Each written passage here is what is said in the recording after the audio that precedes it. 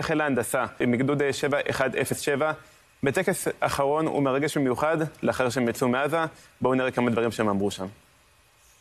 ידח"ן 7107 מסיים את המשימה שהוטלה עליו. מסיים את לחימתו בעזה. הגדח"ן ערוך ומוכן להמשך משימות. לכו בראש מורם, היו גאים במה שעשיתם. אתם עם ישראל היפה. אני גאה בכם, גאה להיות מפקדיכם ולהוביל את הגדוד. מבקש מכולכם לעמוד דקה דומייה. חיילי צבא ההגנה לישראל, אשר חירפו נפשם במלחמה, ובתוכם את נשמת חברנו, ליאב בן סעדה, בן יוסף ותמר, יזכור ישראל ויתברך בזירו.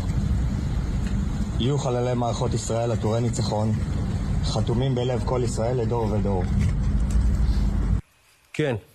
מדהים, כן. כמו שראינו, אמר את זה ממש בדמעות שי, אין מרגש מזה, ומיד לאחר מכן גם, הם לא שכחו ושרו את שירת התקווה. בואו נראה.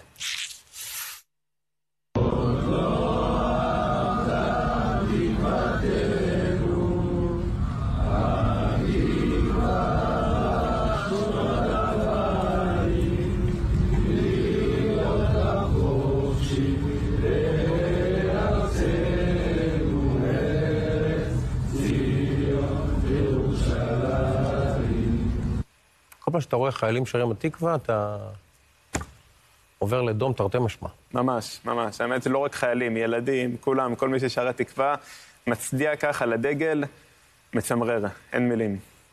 אה, תקופה קשה לישראל, אבל ימים יפים לציונות ולאוהבי ישראל ולעם ישראל וליהדות שלנו ולזהותנו פה. באמת ימים קשים למדינה ולעם ישראל, אבל יש גם נקודות של אור, אין ספק. לא מעט נקודות של אור, ואנחנו רואים אותם, אין לנו ספק שננצח בעזרת השם עד הניצחון. דור עזרת שלנו, תודה, תודה, תודה. תודה.